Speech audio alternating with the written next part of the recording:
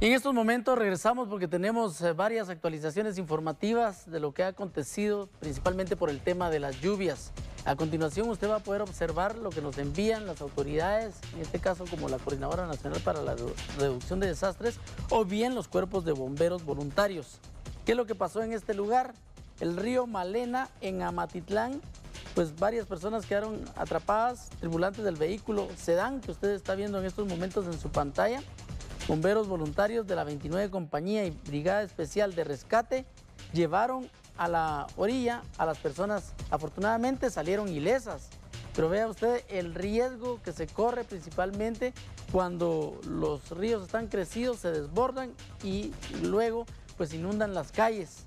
Las personas se confían y aparte de ello, pues como no se ve, no se ve que realmente si hay algún agujero, algún hundimiento o alguna situación más complicada como esta, pues los, los vehículos también quedan de esta misma forma. Así que esto se registró en el río Malena, en Amatitlán. Agradecemos las imágenes a los bomberos voluntarios y además de ello, pues el agradecimiento va, más allá, tomando en cuenta que rescataron a estas personas y las trasladaron pues, a, a este lugar más seguro. Lamentable por lo que también ocurrió con el vehículo, porque son pérdidas, hay que hacer los arreglos y las reparaciones necesarias a los automotores cuando pasa uno por algún agujero que no ve y más en este tipo de casos seguramente va a tener que hacer algunos arreglos con, el mecánico. Así que esto es parte de la primera información de lo que se registró con el tema de las lluvias por parte de la 29 Compañía y Brigada Especial de Rescate que llevaron a la orilla a las personas afortunadamente